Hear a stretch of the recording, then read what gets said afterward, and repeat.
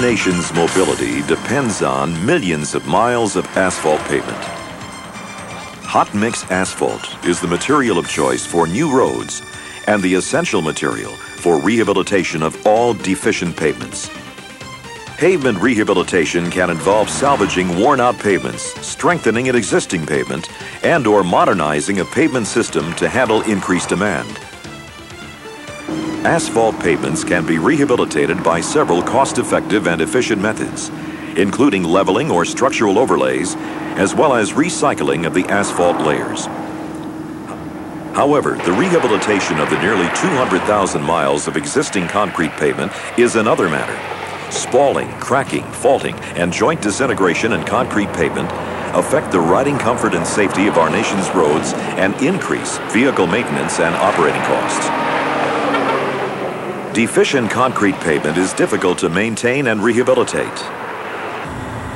And joint repair and slab replacement of concrete pavement often causes lengthy traffic delays.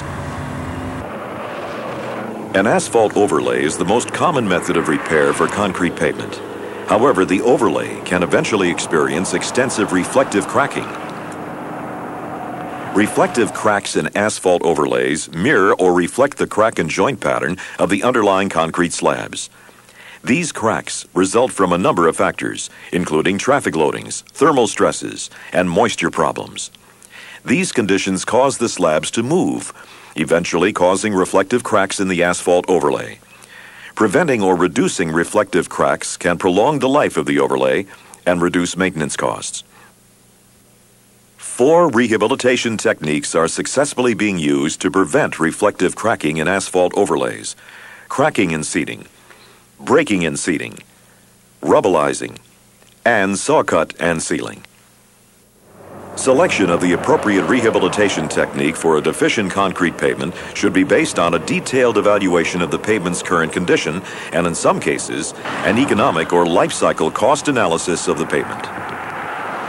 The National Asphalt Pavement Association, in conjunction with 19 state asphalt pavement associations, contracted with PCS Law Engineering to research and produce guidelines and methodologies for the rehabilitation of rigid highway pavements using asphalt concrete overlays. The PCS Law Report reviewed a total of 487 concrete pavement projects located in 34 states to develop design methodologies and construction criteria to assure acceptable long term performance for the rehabilitation of concrete pavements using asphalt overlays. The PCS Law Report substantiates that any rehabilitation technique, like all pavement design, requires consideration of proper drainage to ensure good pavement performance. Attention to inherent drainage problems is essential for pavement rehabilitation to be fully effective. Let's take a closer look at these concrete rehabilitation techniques. Cracking and seating, and breaking and seating. These techniques have essentially the same construction procedure, but the terms vary depending on the type of concrete pavement being rehabilitated. Cracking and seating is used on plain jointed concrete pavements. A pattern of tight cracks is created in the concrete, but the aggregate interlock is not destroyed. Breaking and seating is used on jointed reinforced or continuously reinforced concrete pavement. It cracks the slab completely and breaks the concrete to steel bond. Since pavement preparation is the same for both methods, the term slab fracturing will be used. However, it is important to remember which technique applies to which pavement type. Slab fracturing creates concrete pieces small enough to significantly reduce the stresses that contribute to reflective cracking. But the pieces are still large enough to retain some of the original concrete strength and maintain aggregate interlock between the pieces. Seating of the fractured slab reestablishes uniform sub-base support, reducing vertical movement in the slab pieces. Concrete pavements considered for slab fracturing are normally in fair to poor and poor to failed condition. Pavements in good to fair condition may be considered given adequate economic justification. Consideration must also be given to the design of the hot mix asphalt overlay. Overlay design considerations include differential deflection at the joint, slab length, amount of faulting, existing slab condition, environment, drainage, and predicted traffic. Most states have accepted 4 inches as the minimum overlay thickness and have investigated a number of procedures to determine the final thickness of the overlay. Let's take a closer look at the actual slab fracturing process. First, any existing asphalt overlay is removed. Again, any existing drainage problems must be corrected. Then the slabs are fractured. Proper cracking of the concrete requires that the entire depth of the slab be fractured. The selection of equipment used is based on its ability to fracture the full depth of the slab without excessive spalling of the surface. The resulting crack pattern should be clearly visible without the use of a water spray. These patterns range from 1 by 2 to 4 by 6 feet, with 1 and 1 half by 3 feet being the most generally accepted. After fracturing, the reduced slabs are seated using heavy pneumatic tired rollers, preferably a 50 ton roller. This places the pieces in firm contact with the underlying base, providing a stable layer for the asphalt overlay. Extreme care must be taken not to overroll the fractured pavement. This may actually loosen the seated pieces and reduce the layer's strength and stability. Next, any soft spots, punch-outs, or severely spalled areas discovered during the seating process are removed, cleaned, and patched with hot mix asphalt prior to placing the overlay. Once this is completed, the surface is thoroughly cleaned and swept, and an asphalt tack coat is applied. Finally, the hot mix asphalt overlay is placed and compacted. In the 1960s and 70s, New York and Wisconsin began to treat deteriorated concrete with slab fracturing. Recent surveys indicate that over 30 states have tried this process in various forms, with more than half a dozen now using it as a routine approach prior to overlaying concrete pavement. The state of Kentucky has successfully rehabilitated over 1,100 lane miles of reinforced concrete pavement using break and seat techniques in conjunction with hot mix asphalt overlays. The best performance on plain jointed concrete pavements can be attained by achieving crack spacings between 12 and 30 inches, depending on the type of underlying base material. The PCS Law Report predicts performance lives of 18 years and about 20 years for cracking and seating of plain jointed concrete pavements before reaching pavement serviceability indexes of 2.5 and 2.0 respectively. These same performance life predictions are 12.5 years and 13.6 years respectively for breaking and seating of reinforced concrete pavements. The PCS Law Report suggests that the best performance can be attained by monitoring construction with non-destructive testing to minimize variability and verify that the concrete pavement's modulus of elasticity has been lowered below the threshold value of 1 million psi.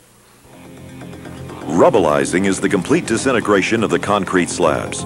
It destroys the slab action and unbonds any reinforcing steel in the slab producing a high-quality crushed aggregate base. In effect, there is no longer a slab, so slab movement and reflective cracking are minimized. Rubblizing is equally effective in all types of concrete pavement. Ideal candidates are those in fair to poor and poor to failed condition. These pavements may exhibit extensive slab movement, massive joint failure, and extensive slab cracking, Pavements in good to fair condition may be considered for rubblizing, given adequate economic justification.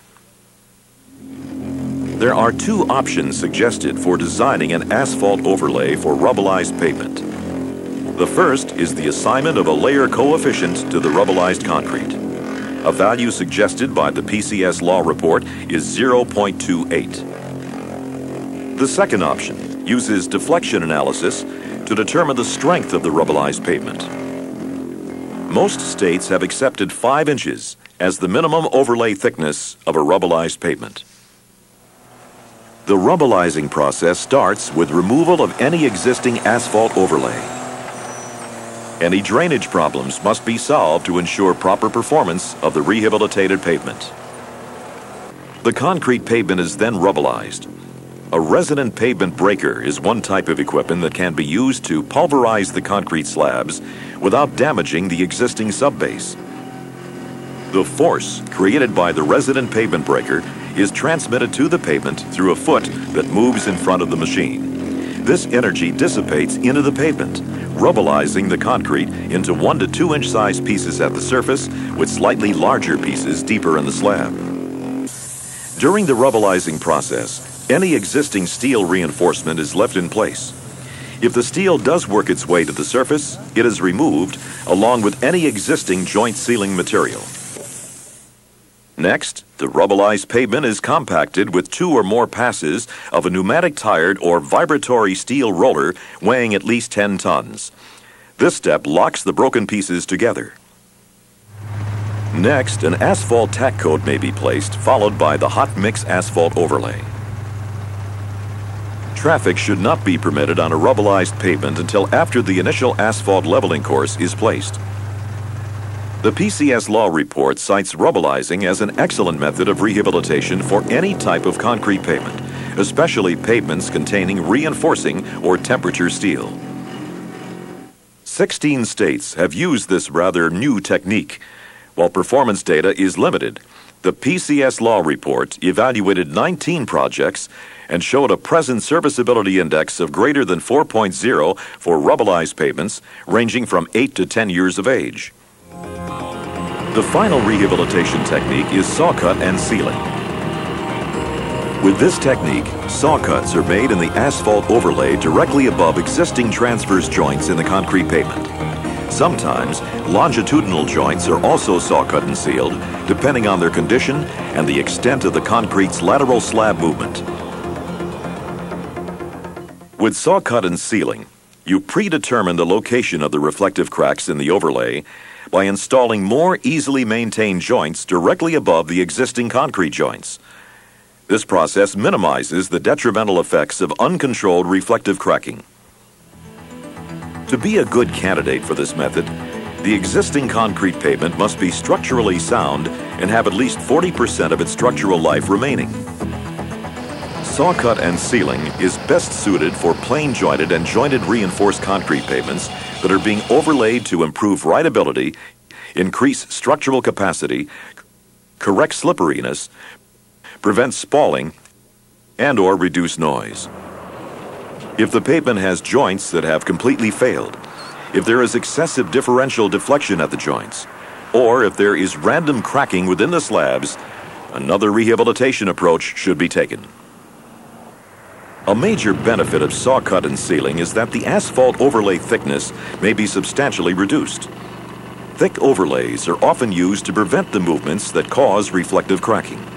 By using the saw cut and seal process, the reflective cracking is not prevented, just controlled. The first step in the saw cut and seal process is to prepare the existing concrete pavement by removing and replacing cracked slabs, restoring joints and load transfer, and undersealing where necessary. Next, the concrete joints are located accurately. This is done using a fixed reference system such as stake hubs, iron pins, or curb markings. The reference system must be set up before placing the asphalt overlay. Misalignment of the saw cut by as little as three quarters of an inch can result in a reflective crack appearing next to the misaligned saw cut.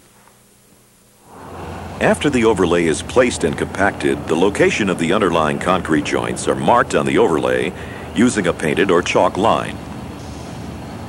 Next, the asphalt overlay is saw cut. The slot dimensions of the saw cut are generally a half inch wide and 5 eighths of an inch deep. Some agencies have adopted requirements for larger slot dimensions for slabs greater than 30 feet in length. Overlays greater than 4 inches will also require a 1 8 inch wide cut below the main slot, extending about one third into the overlay depth.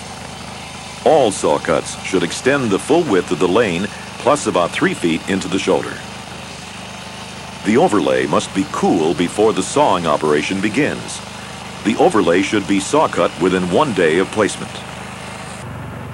Saw cutting may be performed wet or dry. Residue from the sawing operation is cleaned from the pavement before sealing the joints. If a bond breaker tape is used, it is installed immediately after the cleaning operation. The joint sealant is typically a hot applied rubber asphalt. The sealant should meet ASTM specification D3405. The sealant should fill the saw cut 1 16th to 1 8th of an inch below the pavement surface. Do not overfill the saw cut.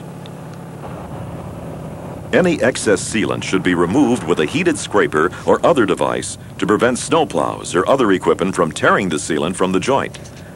The final appearance should be a neat, continuous seal across the entire lane. The New England states currently lead in the use of the saw cut and sealing technique. New York requires saw cut and sealing as the minimum treatment for preventing reflective cracking problems. After five years of use, the state reports virtually no joint failures in these sections. A report on Ohio's experiences indicates no degradation of ride quality on 26 projects ranging in age up to six years. The PCS Law Report predicts performance lives of 10.7 and 15.5 years for saw cut and seal pavements before reaching pavement serviceability indexes of 2.5 and 2.0, respectively. These four methods for rehabilitation of Portland cement concrete pavements offer alternatives to the maintenance problems associated with reflective cracking in asphalt overlays on untreated concrete pavement. These techniques are workable, cost-effective rehabilitation approaches that should be considered when evaluating deteriorated concrete.